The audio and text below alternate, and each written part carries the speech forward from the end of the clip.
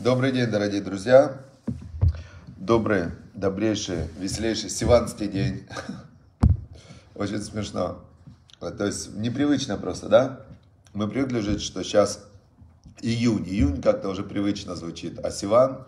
Нет. Но вот именно сегодня Сиванский день. Сегодня третья Сивана. 47-й день Омера. Мы приближаемся, осталось три, два дня осталось почти, три, можно сказать, два-три дня осталось до дарования Торы. Вот мы прошли путь уже от Песаха до Шавота практически. И вот можно оценить, да, вот прошло 7 недель жизни, 49 дней, почти 2 месяца, да, от Песаха. И тот, кто считал, это так интересно, что сферата Омер э, произносится каждый день с благословением. Если ты один день пропустил, не посчитал, то тоже не можешь говорить с благословением. И вы, вот вы можете, если у вас есть вот э, кто вокруг евреи, соблюдающие заповеди, мужчины, ты вот его спроси, ну что, ты продолжаешь с благословением читать? Если он скажет нет, то, то тогда понятно, что у него выпадают дни. То есть его жизнь, она не идет вот прям системно, системно, системно, да?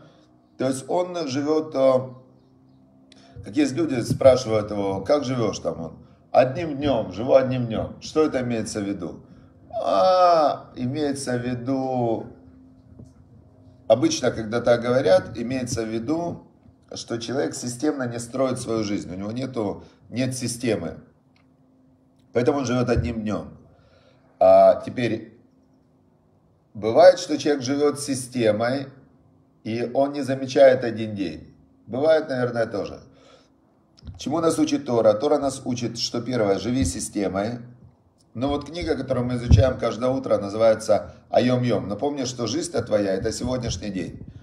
И от того, как ты проживешь сегодняшний день, зависит все остальное в твоей жизни. Да, Еши? Вот. Хорошо, но должна быть система, потому что если ты живешь просто одним днем, непонятно.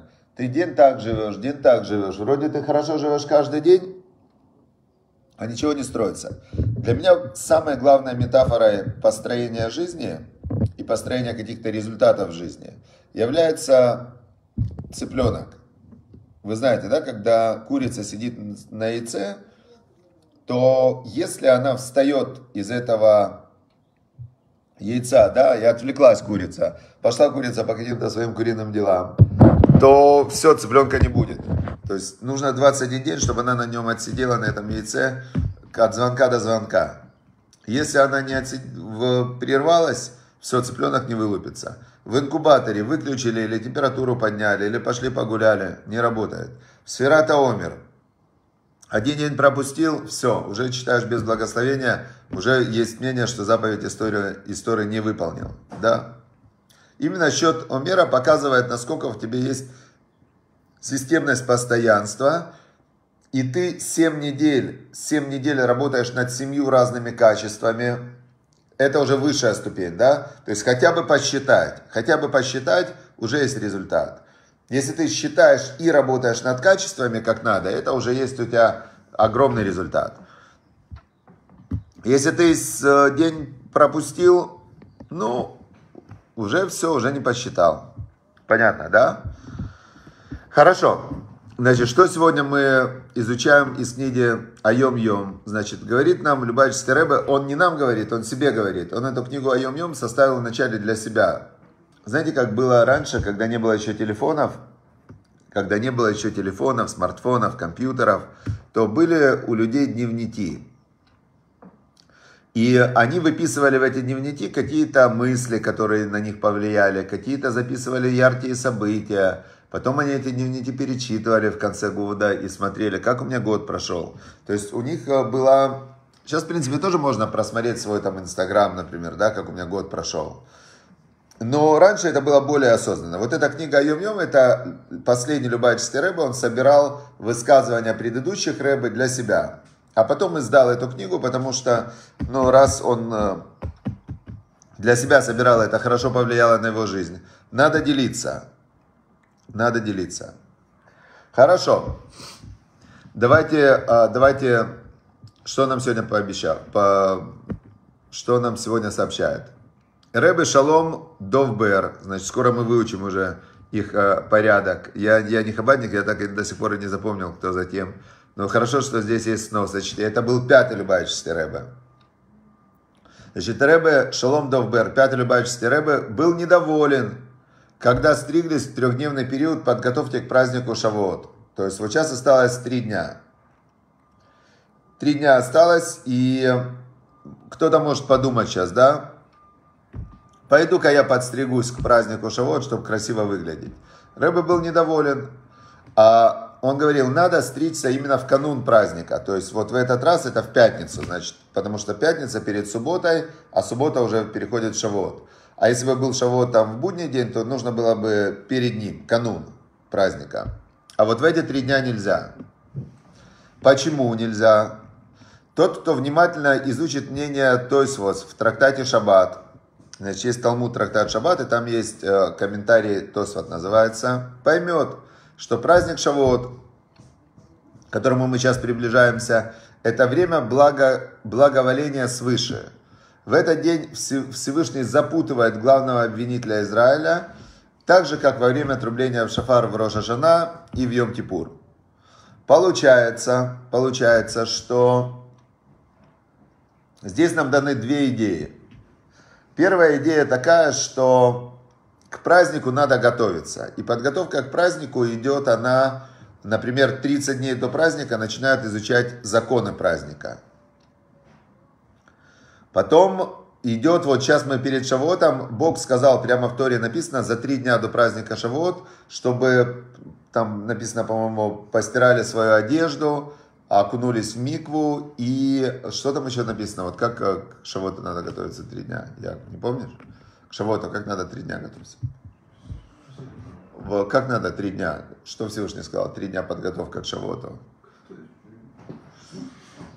В Торе написано, что нужно еще отдалиться от, э, друг от друга, да, то есть мужья и жены отдалялись друг от друга.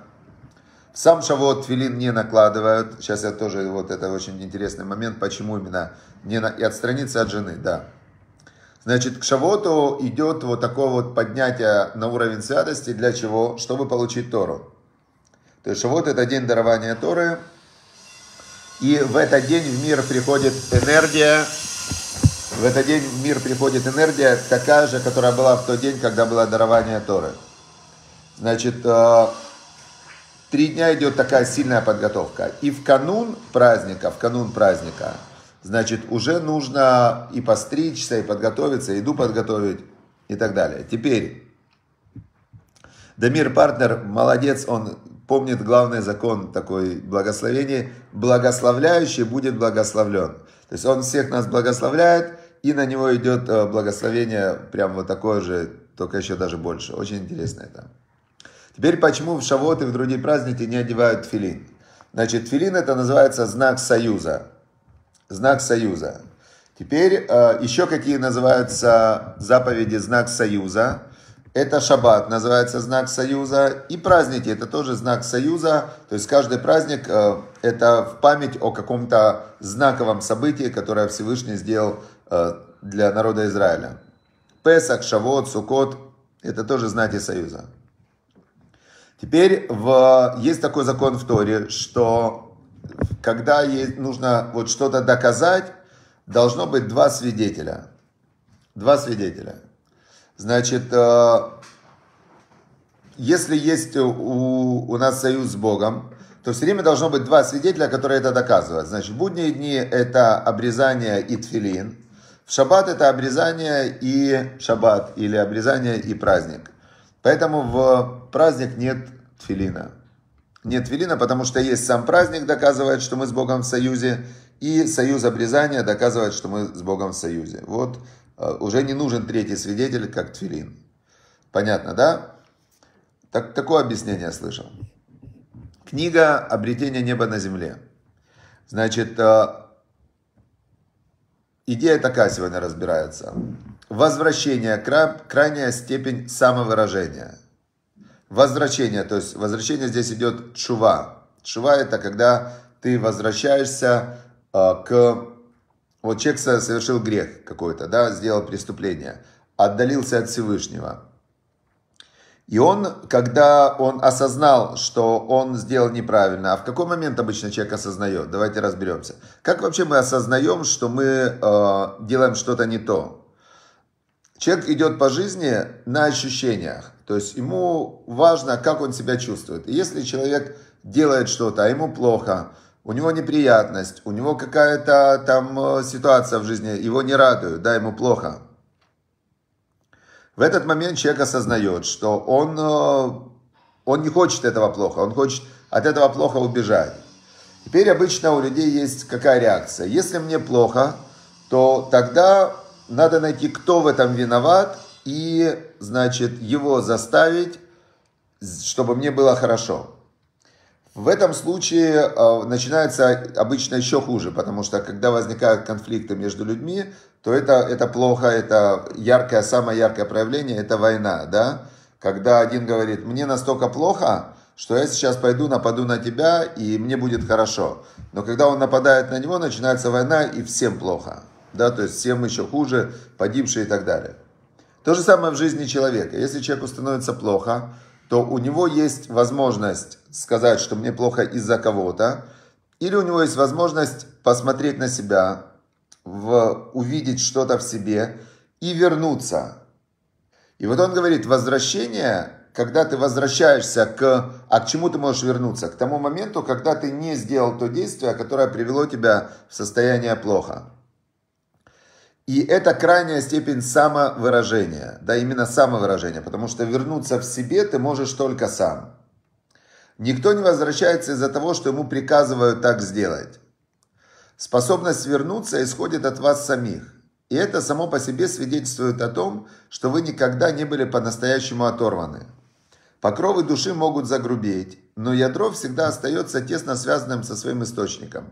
И оттуда приходит призыв вернуться. То есть э, возвращение, здесь речь идет о чуве.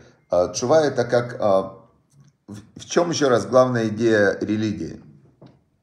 Главная идея религии – что человек перестает ориентироваться на свои личные определения, что такое хорошо и что такое плохо, и он э, старается в своей жизни услышать голос Всевышнего, который говорит, что вот это добро, это зло, это хорошо, это плохо. То есть он ориентируется на Всевышнего, и Всевышний четко знает, что такое хорошо, что такое плохо. Да, чува это как вернуться к ответу, но больше это не к ответу, к возвращению. Вот такой вот перевод.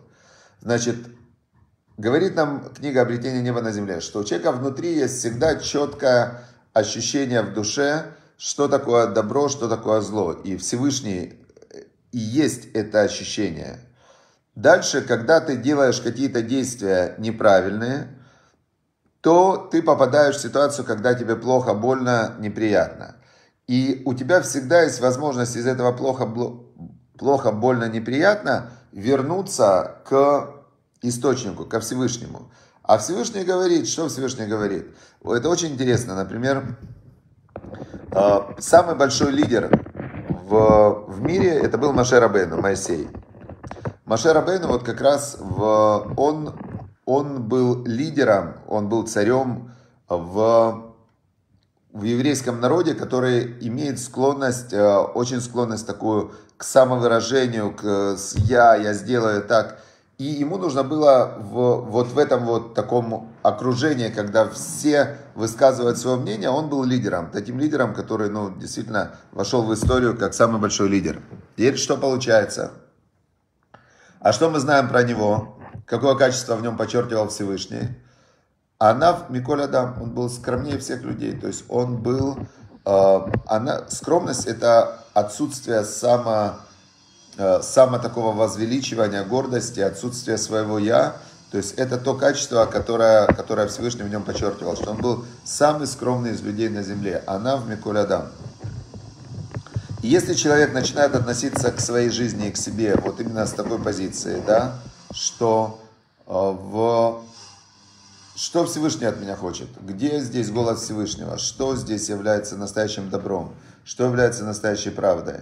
Что является здесь э, причиной моего, моего э, то есть грех, он именно имеет вот это свойство, что человеку от него становится плохо. То есть это как, э, как э, обязательное условие греха. То есть он заманчивый. И человеку, когда он тянется к греху, ему кажется, что этот грех, он заманчивый, это такой обман, это иллюзия.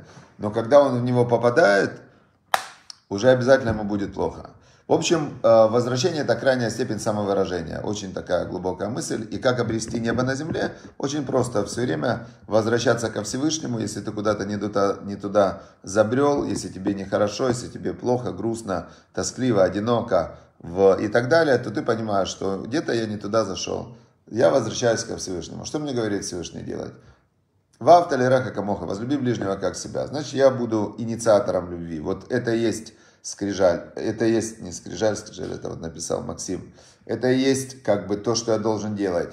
Все, я возвращаюсь к тому, что я должен делать. Не то, что почему мне плохо, а я просто возвращаюсь на, на простую, понятную схему. Да? Если я буду делать то, что Всевышний мне сказал делать, мне будет хорошо. Все. И ты начинаешь просто конкретно вернулся, знаете, как есть на компьютерах, установки по умолчанию еще, сбросить, сбросить установки все, сбросить все программы, стереть все а, вот эти вот, а, то, что я тебе себе там загрузил на жесткий диск, все, возвращаюсь куда? Значит, сегодня какой день? Сегодня третья Сивана. Третья Сивана, значит, что я делаю? Я готовлюсь к Шавоту. Значит, как я готовлюсь к Шавоту? Давайте откроем, как мы готовимся к Шавоту и делаем. Значит, праздник должен быть праздником для тебя, для твоей семьи, для твоих близких, для тех, у кого нет никого, для бедных, для несчастных и так далее. И ты начинаешь, вместо того, чтобы думать, почему мне плохо, ты становишься на правильный маслуль, на правильный такой, э, как сказать, на правильный конвейер. Если ты действуешь правильно, тебе обязательно будет хорошо. То есть в этом основа, основа веры, что если я делаю то, что Бог мне сказал, то мне будет хорошо. Все. Теперь есть здесь э, в сегодняшней недельной главе, э, в сегодняшней недельной главе рассказывается о том, как был, значит, э, все посчитали, всех посчитали, левитов посчитали, всех посчитали, значит, и теперь у нас в этой недельной главе начинаются пожертвования. Пожертвования, и все начали жертвовать в, вот, в этот вот мешкан, в передвижной храм, все начали жертвовать. И вот здесь есть один, один из самых непонятных моментов в Торе, который очень много объясняет. Значит, каждое колено, каждое колено, оно пожертвовало определенное количество для храма предметов. И вот э, эти предметы, значит, они были для всех колен одинаковые. Я сейчас вам перечислю, что они приносили. Значит, в первый день свою жертву принес Нахшон бен Аминадава из колена Иуды. Значит, глава колена Иуды принес жертву в первый день, когда осветили мешкан, храм, начали в нем служить Всевышнему. И что он принес, давайте посмотрим. Его пожертвования. Одно блюдо серебряное в 130 шекелей весом. Запомнили, да? Одно блюдо серебряное в 130 шекелей весом. Одна крапильница серебряная, не знаю, что это за крапильница, э, в 70 шекелей весом. Какая-то чаша на блюде, на блюде, крапильница. Дальше, по шетелю священному, это весом шетеля священного, особенного какого-то. Оба сосуда наполнены тонкой мукой, смешанной с елем, смешанной с маслом, для приношения хлебного. То есть поднос серебряный, на нем чаша серебряная, наполненная мукой, смешанная с маслом. Один молодой бык, один овен, значит, бычок молодой рядом стоит, такой бык – один баран стоит рядом, один ягненок по первому году во всесожжение. Значит, быка сжигали, э, барана сжигали, ягненка сжигали. И один козел в очистительную жертву. Рядом стоит козел такой, и его, значит, в очистительную жертву. Дальше, в жертву мирную два быка, еще стоит два быка, пять баранов, пять козлов, пять, ан, аг, пять ягнят по первому году. Это жертва Нахшона, сына Аминадава. То есть э, серебряные принадлежности и стадо, небольшое стадо животных. Во второй день доставил жертву Нетанель, сын Суара, предводитель колена Исахара. Что же он доставил, давайте послушаем.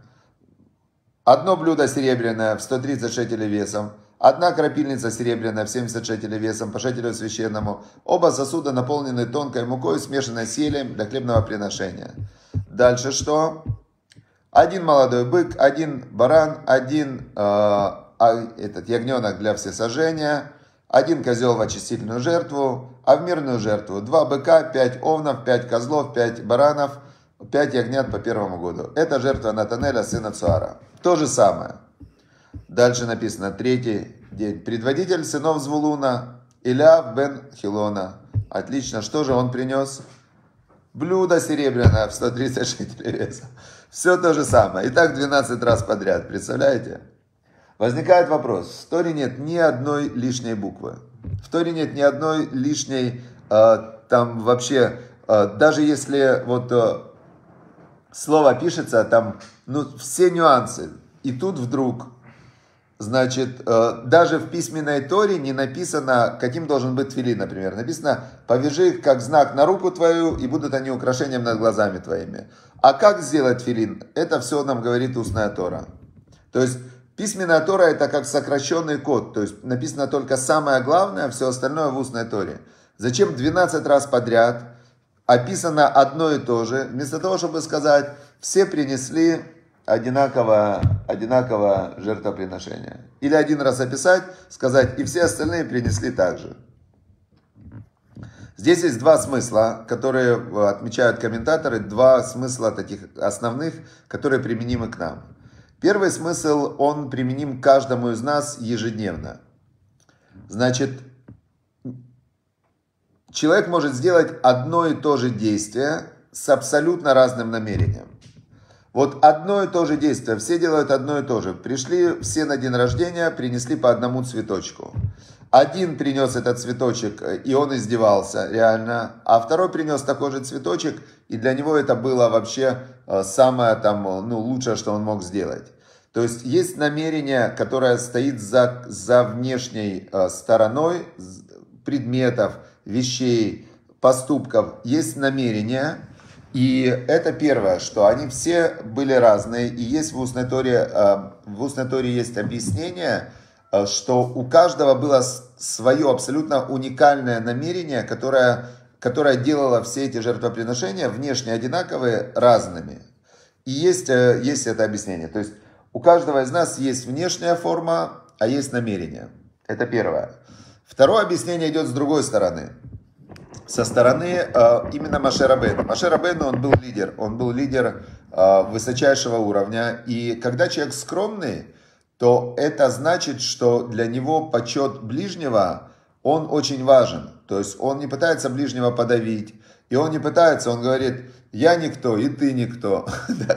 Это не значит скромный. Представьте, человек к вам подходит и говорит, смотри, говорит, я человек скромный, я думаю, что я ничего из себя не представляю, но ты относительно меня вообще ничего из себя не представляешь. Это не значит, что человек скромный, это, ну, это он э, малек не в себе. А Машара Бейну, он был человек скромный, но он прекрасно понимал, что другие люди, они не такие скромные. И для других людей важно их я, их э, кого их почет. Если бы он написал, что вот Нахшон бен Амиуд принес такое жертвоприношение, и остальные тоже, то все. Остальные бы ушли бы, отделились бы, как потом народ Израиля при сыне Шлома Мелаха Рахавами разделился на два колена и десять колен. Потому что он им не оказал должного почета. Машер Абейну каждому оказал одинаковый почет, каждому перечислил все его дары, каждому сказал спасибо огромное за то, что вы сделали. И все главы колен чувствовали себя очень удовлетворенными от такого к ним отношения. И точно так же мы должны стараться тех людей, которые находятся вокруг нас, уважать, почитать. И в этом кроется один из главных секретов хорошего настроения. Потому что, в принципе, причина ну, плохого настроения у большинства людей – это одна мысль такая внутренняя, что мне не додали, а другим передали. То есть другим дали больше, чем положено, а, мне, а меня обделили. Я такой человек хороший, важный в этом мире, но что-то мне не додали с небес, а, или там люди не додали, может, с небес мне додали, а кто-то забрал то, что мне полагалось. И э, это все вот как раз причина плохого настроения. Я, ну хорошо, ладно, уже время наше закончилось. Все, всем удачи, успехов. Значит, всем благословений в здоровье, в благополучии, в семье, в шломбайте, в, во всем. Значит, и чтобы в заслугу наших, э, того, что мы изучаем Тору и стараемся служить Всевышнему, чтобы быстрее закончилась война, чтобы остановился мир, и чтобы, чтобы люди перековали мечи на там, оралы, не знаю, что за оралы, есть такая фраза, мне почему-то запомнилась на русском, чтобы люди мечи перековали на, как во времена Машеха, на какие-то полезные более вещи, и вместо того, чтобы воевать, наоборот, создавали бы... Представляете, сколько денег сейчас уходит каждый день на войну, а если бы все эти деньги раздавали людям, устраивали праздники, салюты, там делали бы всякие хорошие вещи, отдали бы в детдома эти деньги или в дома престарелых, насколько был бы лучше и приятнее, чем то, что сейчас происходит. Все, хорошего всем дня и удачи и успехов.